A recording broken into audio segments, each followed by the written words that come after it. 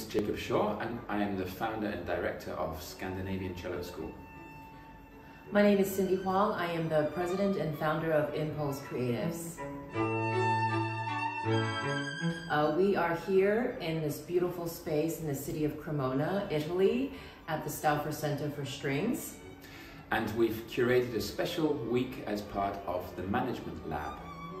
We are very excited this week to be working with multiple students who have been selected through an application process.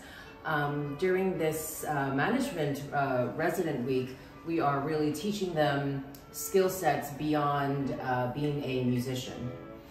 We've curated the week with a lot of guest speakers coming in via internet link and that's everything from uh, graphic designers right up to top industry leaders.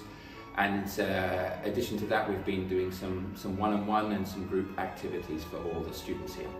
It's been a very intense uh, few days and we have a couple more days to go and it's been really, really wonderful to work with the students and also the staff here at, at Stauffer who has been so uh, gracious and hospitable and has been so great with their assistant in, in making sure this week has been, you know, very smooth. This is our pilot season of the Management Lab with Stauffer and it has been going very well so far. So we really do look forward to continuing this program um, every year and hopefully we can have a chance to work with more students. You can stay in touch with us, of course, through social media, which the links will be below the video, and be sure to check out everything going on at Stauffer via their social media and websites. We hope to see you here soon.